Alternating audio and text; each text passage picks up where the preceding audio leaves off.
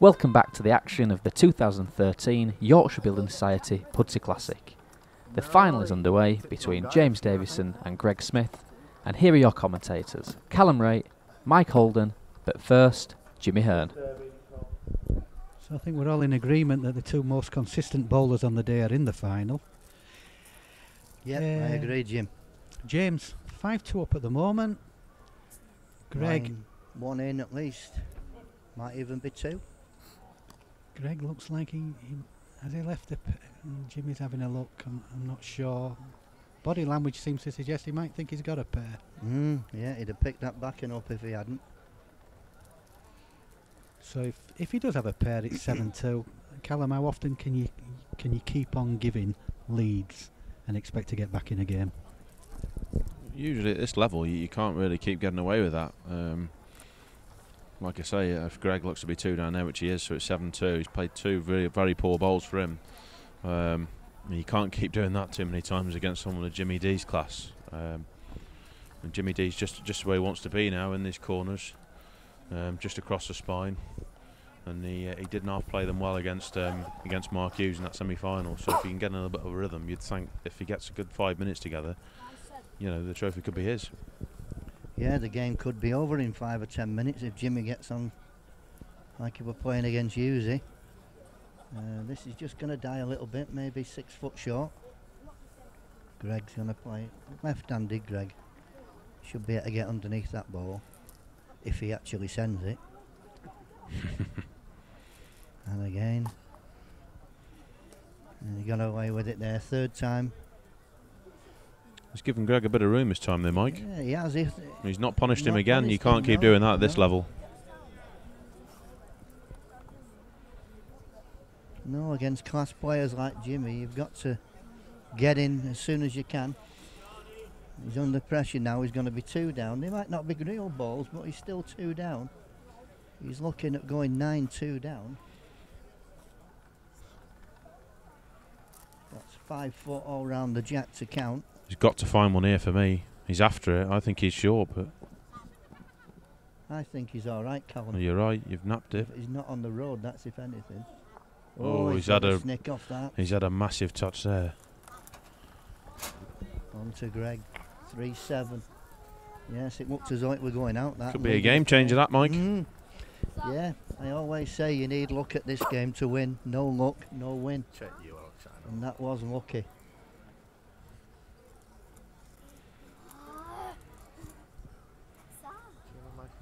To be honest, when things like that happen, you always think that, that maybe it's just meant to be. I mean, he's already had a game where with Ryan where where possibly he shouldn't have won or maybe didn't deserve to win because of how poor he played in the first half of that game or maybe first two thirds of that game. But like you know, Mike, you know, any top player will tell you that to win a tournament, you're always going to have one game where you're going to be lucky to get out of. Yeah, exactly, exactly. And he's he's travelled all the way up from Birmingham to come and pit his skills against Yorkshiremen, basically, after beating Graham Wilson in the second round of the qualifying night. And now getting to the final, as you know, Callum, travelling up here, playing mm. in players' own backyards. It's tough, tough It's school. a tough school, exactly. He's playing a man in form at the moment in Jimmy D. He's not here for the fun of it, though, Mike. No. Jimmy just wants to pull up a little bit. Yeah, it's just going to stay in, I think. No, it's just. Oh, it's gone out for a Desmond. Aye. Yes. Desmond 2 2. Desmond Tutu leads out at 5 7. Five, Bit of a different game. Yes. It's struggling. It's Well, struggling. it's not going to be a touch of this, Mike. I bet he's wishing he had gopher tapes now. Probably just sneaked him, but if those count, there's going to be something wrong.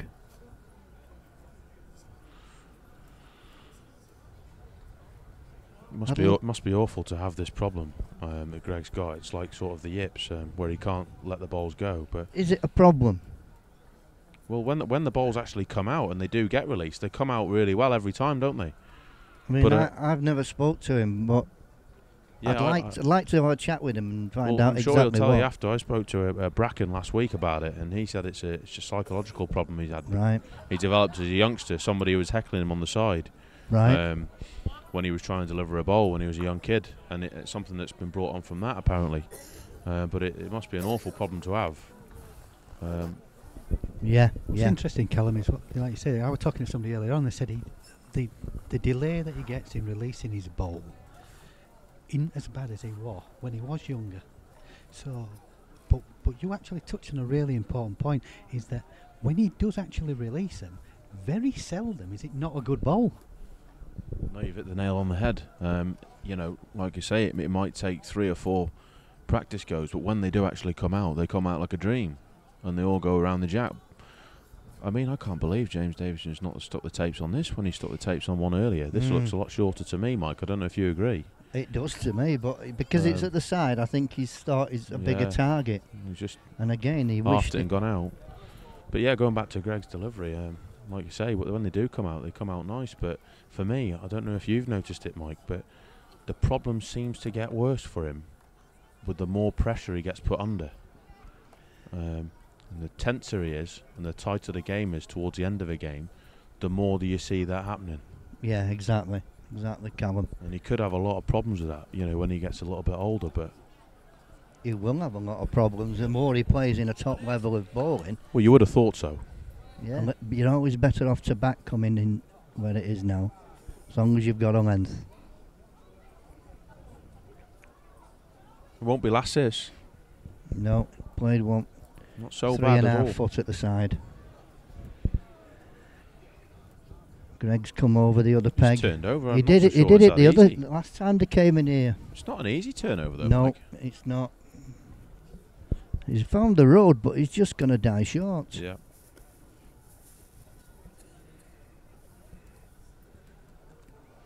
We're halfway through the game, and like all the other games, Jim, they've all been sparring the first half of the game, and it's time for somebody just to put the foot on the gas and try and pull away now.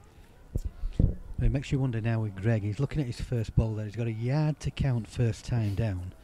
That gap's halved with the second ball, and he's probably got a ball bang up the road. He seems to be on a decent route in. I just don't think he's Sh- here. I Short think he. for me, short for me, Oh dear, short for me.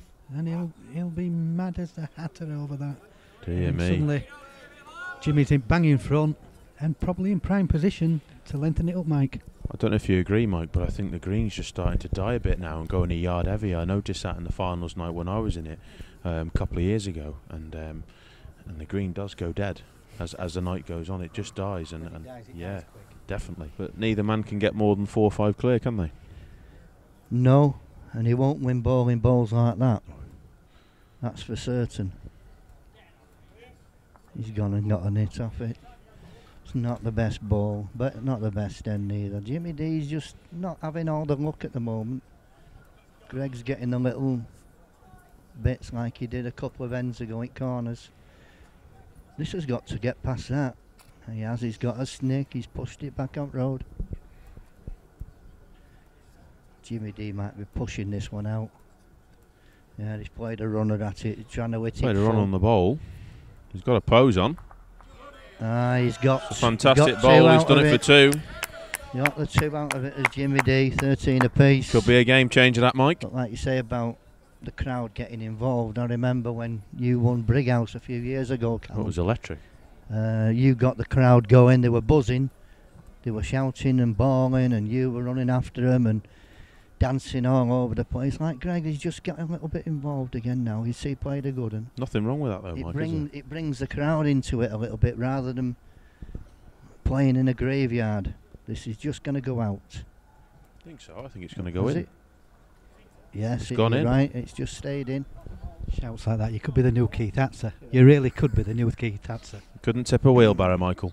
I've, I've had plenty of practice at wheelbarrows. Tip Well, this one, Mike. He's played a real one. I think He's he's on it for two, mate. Absolute real one. I thought he Good was on it for two. Real ball.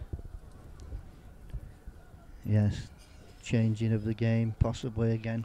He's trying to play a dead draw here, Mike. I think he might have He's not. He's not a mile off, it. you know. I think he's left just it. It's two for Greg. Oh, he's just going to pull up. Dearie me, he won't be happy with that. Potted meat, as they say around here, Michael. Mm, Yes, Mr. Payne's not here to Potted listen to meat, you potted saying meat. A that. good, a good Yorkshire saying, Callum. One of Callum's friends' favourite sayings that. Greg's up and down again. I think we're just about getting to that stage of the game now where we're going to start seeing that delivery come into Mm. play and Yeah. come under pressure. Having said that, he's nearly licked this, you know. What an effort this Got is. to sink. It's and a he has done, fantastic ball. played a What a real ball. fantastic ball. Jimmy D will probably play about two foot over, just trying to prop that for a brace, Mike. He's played. He's roundabout, he's isn't he? Or is he just a bit right. narrow? Oh, He's gone round the Yeah. corner. He's dragged it across. There is a little bit of danger about here, so whether Greg will go for it for another or just take the one and, and uh, revert back to short mark. What do you think, Mike? I think. I think he'll he'll half-heartedly try. What and leave it four foot short? Yeah. Okay, we'll see what happens. All right. Four yards short then. Okay.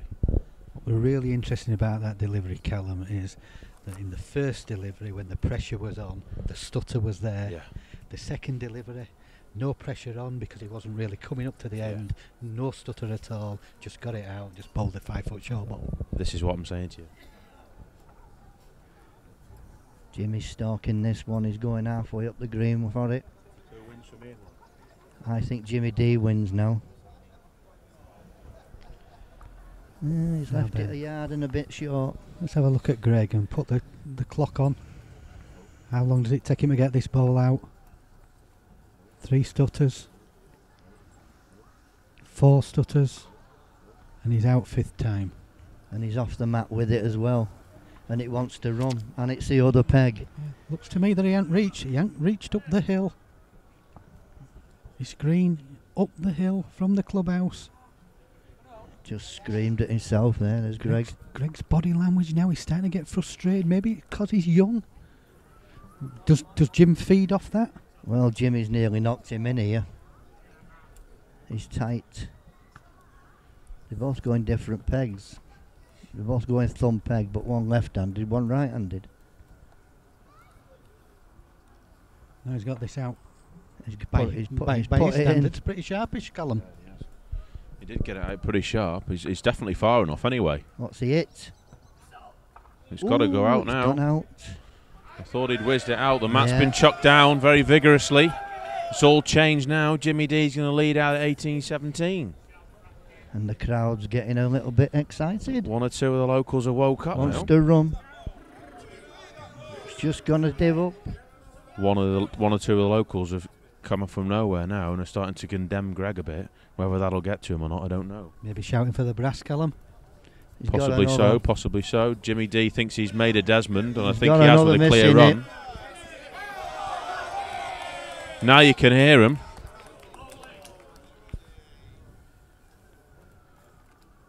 Got that away first time.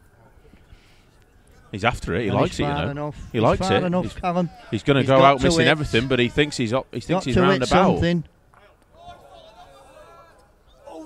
Oh, He's hit and gone out. One to Jimmy D. nearly had an outrageous hit. Then that would have been a, a game changer, Mike. So he's always winding himself up, isn't it? If if he had got heckled, then I mean, you know, Again, he's gone the other peg than Jimmy. he likes it. Well, he's definitely he's far enough to Just win anyway. win. With a, with a clear, he's going to breeze in. Gonna win it. Jimmy's got to get past those two on his own peg. That didn't come out the best, Mike. No, it didn't. And he's gone the other. He's gone the same peg as Greg. He's on finger this time, not thumb. And he's a little bit narrow. And he's hit his own. He's left Greg a comfortable Right. chance of two. He got ten foot all round the jack to get another. It's got to be pairing up here, Mike. To be honest, Yeah, yeah. If he pairs up, they can both get up next end. you feel if he pairs up, he goes favourite, really. Yeah.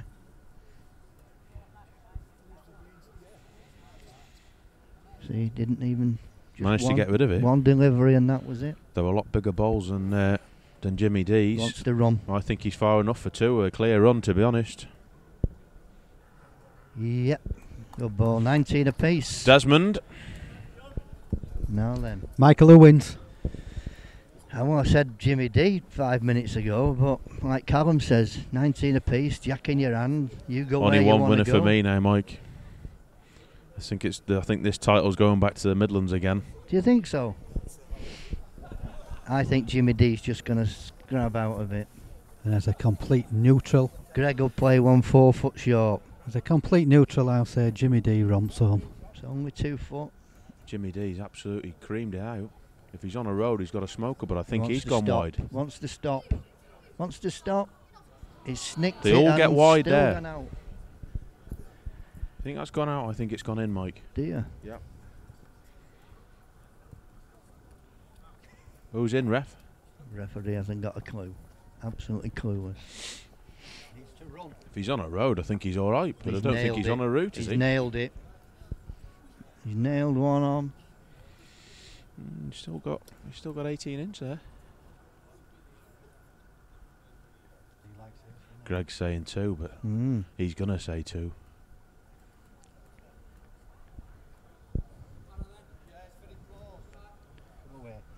Come away, ref. Let him send it. He's creamed it out. Are you sure, Jim? I I think, think, it- if he's think on a road, it's won breezed and it's road. absolutely romped in. What a bowl! What Won a it. tremendous bowl. 20, 19. The local Jimmy crowd D. go wild. The referee's just telling us he think that Greg lay up there. He's a good player. You're right, he's gone finger. I apologise, Mike. You want to come and watch more often instead of spending time on green. Don't usually do a lot of watching, Mike. To be I've noticed. Has he sent it off? No. Long, long way for me that. I don't know. He's not on road. I'm not a he's homester by any means, Mike, but I know that I'd be turning me peg here Mm. first bowl. No two ways about it. I wouldn't be playing entertaining that peg Play, play a yard above the jack. Because that's how difficult this mark is. Mm. Where Jimmy D just put his lead in, Greg's listened and he's gone the other peg. He's twirled over. As long as he's got something like a length, He's on the top. right. He's on the top, but as if he's he's a length, he'll have a good one. Surely Jimmy D's got to follow that in now. You'd have thought. Greg wants it to stop. It's a good one.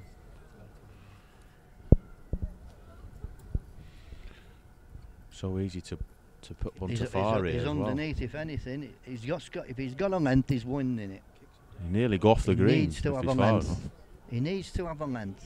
Nearly goes off the green, you know. Gone off. Thought it was off the green for No, it- Mand. He's got to take his time and just breeze on in here. As long as he can let go As of it. As long as he keeps it high enough. He's got to let go of it first. Come out. He thinks he's, He's, he's clapping his hands. He thinks he's buzzed one out.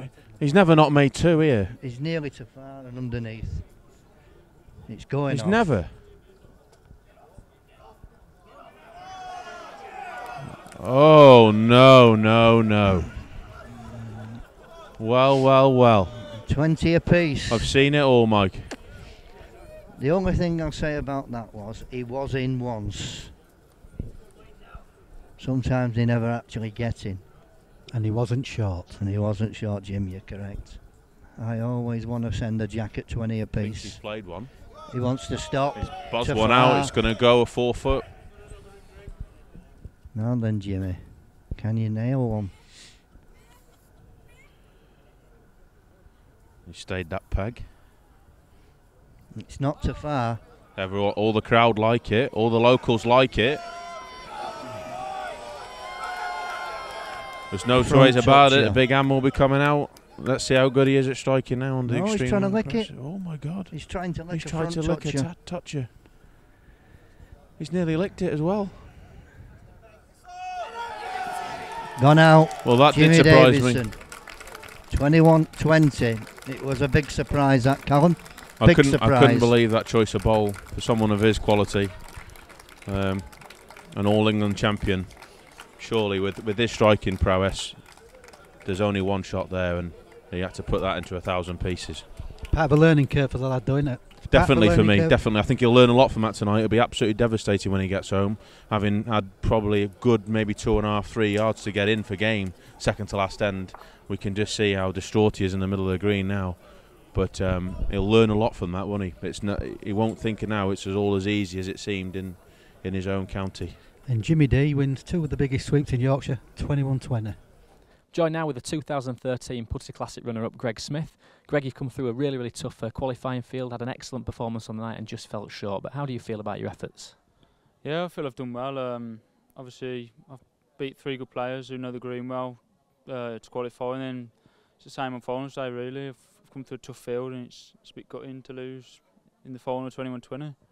Uh, the green looked to suit you. You're playing short and playing tidy most of the, most of the evening, uh, but you're gonna have to mention that penultimate to us and what was going through your head just there. Yeah, I mean, uh, when Jimmy sent his last one off, um, I did think it was in the bag probably, but you know, I've, I've sent it out a bit quick and it's gone off, and it's hard to compose yourself then for the uh, for the final end at 20 across. But he's, he's played a good one, and I've just stuck out. Yeah, we'll comment though on you. Your first time at the competition and doing a little bit of travelling up into Yorkshire.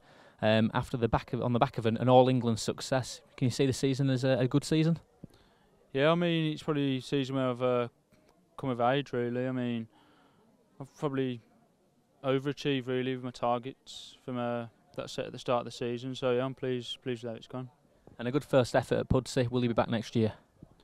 Yeah, definitely. The, the green, the people, uh, people at the club, and catering's brilliant. Uh, I'll travel up with a few of my mates again and give it another crack next year. Well, that line's Greg, but well done anyway. Thank you. I'm joined now with uh, 2013 Pudsey Classic winner James Davison. Uh, Jimmy, what a year you've had, and it's finished tonight with a, a fantastic performance and a close 21-20 win. What are your thoughts? Uh, yeah, fantastic night. Uh, love coming to Pudsey, great club. Um, yeah, it, it's it's been a really nice way to finish the year.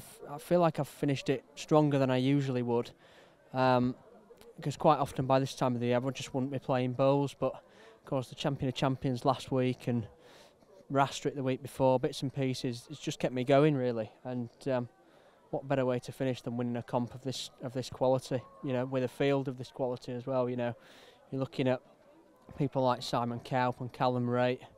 Uh, you know, Greg Smith, the All England champion. You know, it's, it's just a it's, it's, a brilliant way to finish the year. Uh, you're beating some top bowlers on your way in uh, in the recent competition you've been playing in, but I want a bit more emphasis on being 20, being winning 21-20 in two finals. What's going through your head in those latter stages? well, in the latter stages of this one, I was thinking, I don't believe I've just thrown it away in that in that manner. Um, yeah, beat Scott 21, Scott Fisher 21-20 at Rastrick. Um, in very different circumstances to tonight. To be honest, um, I thought I'd thrown it away at uh, at 98 to what was it 2019 in front, needing a decent lead. Didn't produce one. He bowled a good, and I ditched my second, and I thought that's game over. But thankfully, um, although I do feel for Greg, he couldn't convert, and obviously um, managed to gather myself for the last end and um, you know play a decent bowl.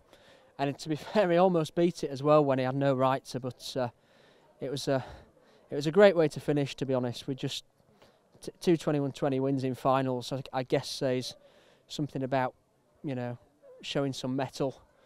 Albeit tonight, for people that actually watch the final, they'll probably think that uh, it could have been a very different story, and we could have been having a much, you know, le- less happy conversation had uh, had Greg done what I think we all expected him to do at that at that last but one end. You've always told me that Puds is not your favourite green. Has that changed this evening? It's changed this season, to be honest. I, I uh, I've played really well on here this year. I don't. In fact, I don't think I've lost a game on it, league or comp. I think, and um, I'm starting to warm to the place.